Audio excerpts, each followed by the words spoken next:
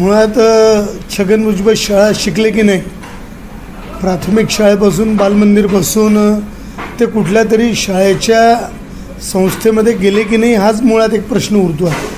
अशिक्षित माणूस तर राजकारणात आला नाही ना? आणि आला असेल तर या पदावर आणि लोकांना ज्ञान शिकवताना. ते विसरले का?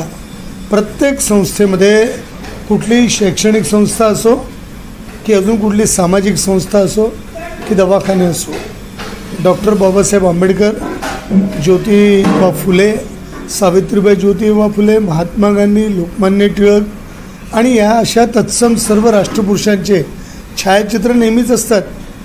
त्यामुळे हा नवा प्रश्न त्यांच्या मनात आला कसा? की डॉक्टर बाबासाहेब आंबेडकरांचा शाळेमध्ये छायाचित्र नाही. आणि शारदा आणि सरस्वती दोन्ही एकच आहे छगन भुजी भुजबळ साहेब. याच्यामध्ये अंतर नाही. शारदा म्हणजे सरस्वती आणि सरस्वती म्हणजे शारदा. याच्यामध्ये काही अंतर नाही आहे. आणि आपल्या शाळेमध्ये आणि आपल्या हिंदू संस्कृतीमध्ये शिकवलं जातं.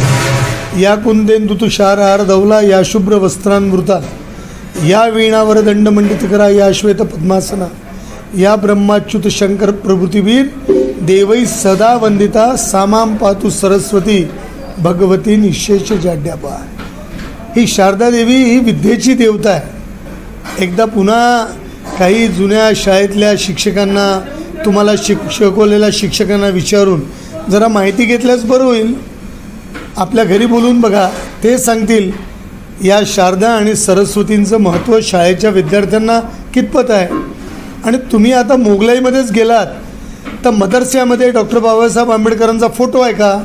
हा प्रश्न विचारा. मदरस्यामध्ये ज्या ज्याचं पूर्ण पैसेच सरकारं खर्च करतात तिथे छत्रपती शिवाजी महाराजांचा फोटो आहे का? तिथे ज्योतिबा फुलेंचा फोटो आहे का? याचं उत्तर छगन भुजबळांनी पहिले द्यावं. ही मोगलाईचा विचार आहे.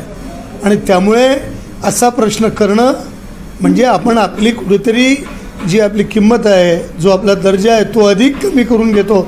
कमी तर आधीच करून घेतला आहे तो अधिक कमी करून घेतात. कृपया असे जे स्टेटमेंट्स आहेत अशा ज्या गोष्टी आहेत त्या आपण पुन्हा म्हणू नये अशी आपल्याला सूचना मी या माध्यमातून करतो.